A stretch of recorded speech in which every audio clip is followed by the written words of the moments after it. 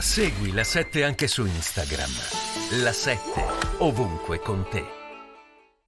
Eh, per parlare del PNRR, eh, lei è stato ministro dell'economia e avrà ovviamente visto e letto le polemiche per il cambio di governance che il, questo governo ha, ha, scelto di fare, eh, spostando su Palazzo Chigi, togliendo poteri al MEF, cambiando anche quasi tutte le persone e questo eh, viene criticato come diciamo non, sol- non, tanto per le persone messe ma come un rallentamento sulla tabella di marcia. Lei che idea si è fatta? Comunque il PNRR del governo Conte 2, eh, eh, quello insomma prevedeva una cabina di regia più a Palazzo Chigi?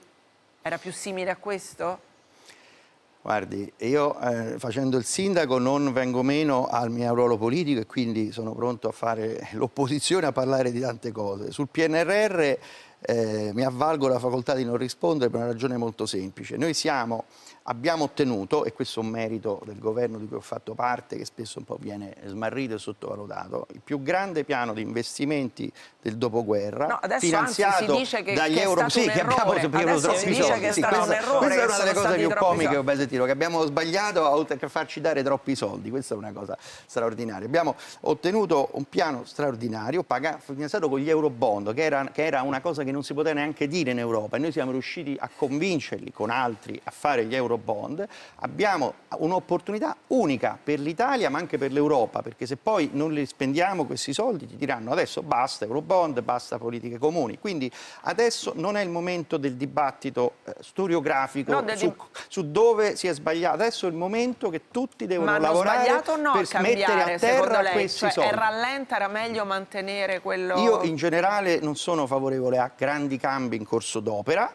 però sta alla valutazione del governo capire cosa è la cosa migliore. Adesso la cosa importante è che c'è, l'Europa ci ha dato una scadenza che è bene che non si arrivi proprio all'ultimo momento, perché poi non sa più tempo se qualcosa va, per cambiare qualcosa e per, diciamo, dove, le, dove, dove le, le, i soldi si mettono a terra metterli, magari incrementarli, dove c'è un rischio di perderli, toglierli e spostarli da un'altra parte. In più ci hanno dato 2 miliardi e 7 in aggiunta per il Repower EU per la transizione energetica. Quindi adesso bisogna non sbagliare questo passaggio, perché Quindi se si voi, sbaglia secondo lei voi siete ancora in tempo, se cioè si il sbaglia questo passaggio, se si fa bene la revisione e si mettono risorse dove le risorse possono essere spese, dove sono utili naturalmente, e questo bisogna quindi fare anche attenzione e pensare che si possa limitare a dare risorse a società eh, pubblico, pubblico-private per la precisione, e, eh, ci sono grandi investimenti, per esempio noi, ma a Roma lo posso dire, ma anche altre città,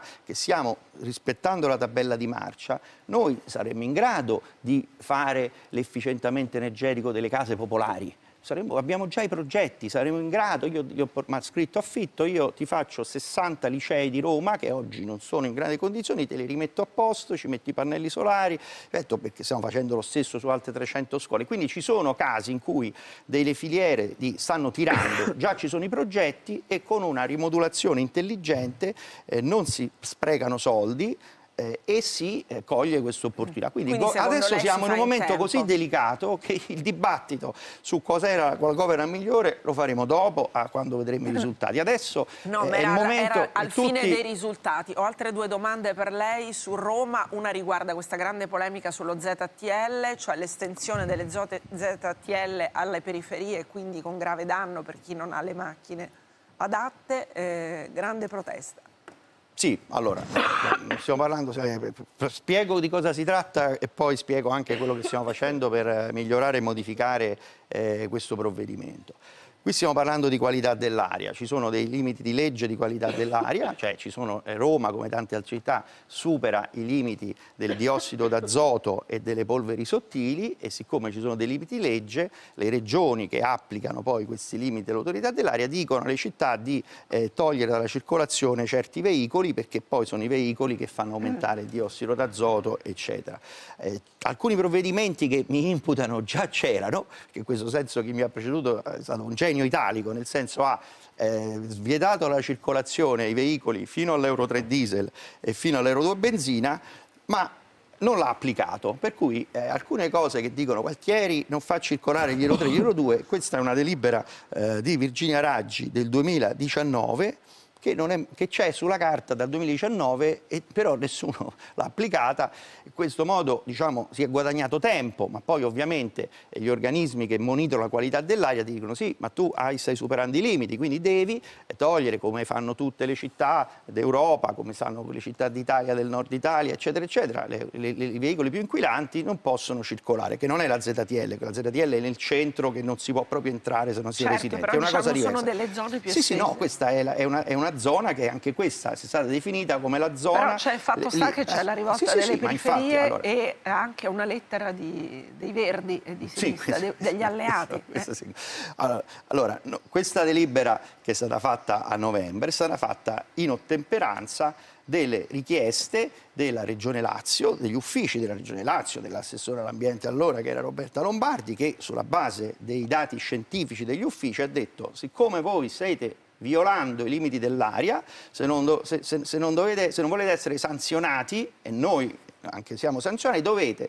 togliere dalla circolazione, addirittura loro ci avevano chiesto di togliere fino agli euro 5, pensi, quindi proprio, ma è scritto articolo 24, eh, norme tecniche attuazione dei regionali del 25 ottobre 2022, quindi c'era scritto a Roma non possono circolare nella fascia verde i veicoli fino a euro 4, questo è avvenuto nell'ottobre. Noi quindi abbiamo fatto subito la delibera in ottemperanza a quello che la Regione ci diceva di fare e a sua volta, ripeto, al netto che forse eh, la Lombardi ci ha messo sul plus di zero, erano, lo faceva anche sulla base degli dati degli uffici, degli e scienziati quindi... che misuravano le centraline e dicono voi avete troppo biossido d'azoto, fa male, fa venire il tumore ai polmoni, se no vi eh, condanniamo e vi arrestiamo, dovete abbassare i limiti, delle, delle, delle, togliere i veicoli che inquinano perché i veicoli vecchi, e basta vedere una tabella, la... emettono molti di più di queste polveri. Quindi noi abbiamo fatto subito una delibera che diciamo, rispettava quello che ci veniva chiesto e vorrei dire imposto di fare, però abbiamo anche introdotto,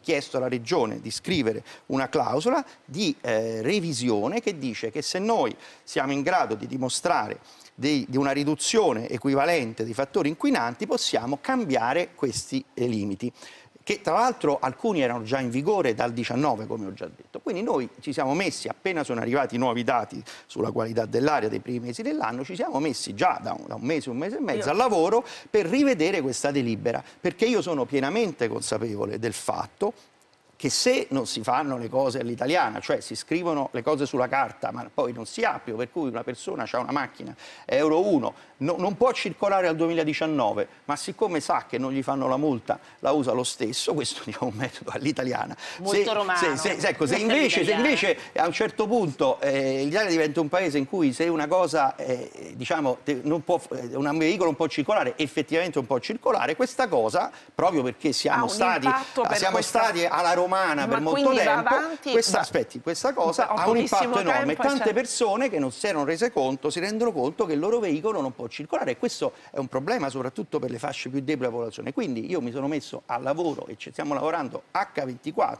e ho scritto anche al Presidente Rosa per rivedere questa delibera e evitare che ci sia un colpo sulle persone che non si possono eh, permettere. Quindi però che vuol dire che quindi sì. potranno circolare anche quelle macchine? Ci sono molti, adesso voglio, non voglio anticipare i risultati di questa revisione, che sarà una revisione significativa. Quindi maglie Quindi più larghe, permetta di dire alle persone di eh, essere tranquille, e di farci lavorare e di darci tempo di proporre, di presentare questi cambiamenti che penso saranno significativi. Devo, faccio solo un esempio. No, è stato, faccio, faccio la linea è stato detto che il GPL per esempio non potrà circolare. Questo non è vero. Il GPL potrà circolare e stiamo lavorando con modo molto attento. Io ho imposto, ho chiesto anche a tutti gli uffici tecnici, gli scienziati, quelli che fanno le misurazioni, di ri rivedere completamente il modello e di fare qualcosa che non scarichi un costo non su sostenibile su chi non se Maria lo può Teresa Melli, e le assicuro so che, che, lo faremo. Sì, abbiamo veramente un minuto e, e i rifiuti e, e, il termovalorizzatore.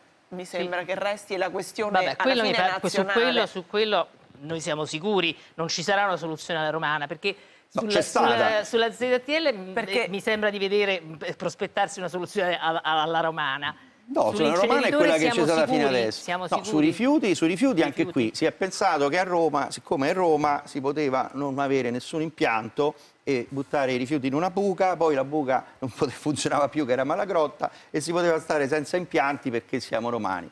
A un certo punto i rifiuti sono cominciati a accumularsi sulle strade e quindi noi abbiamo deciso di fare quello che è una cosa normalissima in tutte le città eh, d'Italia e d'Europa, cioè fare Però i vari impianti un termovalorizzatore. Schlein non lo ama, ma dice è stato deciso senza la mia Guardi, vorrei, responsabilità. ricor- però vorrei ricordare che una mozione parlamentare contro il termovalorizzatore è stata respinta a in modo quasi plebiscitario al Parlamento. Quindi questo, che tra l'altro non era neanche vincolante, quindi io l'avrei fatto comunque, però diciamo, eh, ho il conforto di quattro quinti del Parlamento della Repubblica e quindi con Quindi ancora farà, maggior, il con ancora termovalorizzatore maggior si Siamo farà. tranquilli, tranquill- io e Alessandra Sardoni siamo tranquilli. Siamo il termovalorizzatore si sta Ma fatto che andando avanti non come piaccia, il fatto che Schlein non piaccia non Guardi, accetti le un- opinioni personali che poi sono tutte da vedere Eh, perché tutte segretario. diciamo è Eh. stata molto prudente nell'esprimere una posizione perché è una persona seria che vuole approfondire i dossier ma le ripeto il Partito Democratico ha respinto la mozione del Movimento 5 Stelle il E Parlamento quindi fine dice della lei discussione i fatti. Benissimo, grazie a Roberto Gualtieri, grazie a Maria Teresa Meli ovviamente, a voi che ci avete seguito, buona giornata, a domani.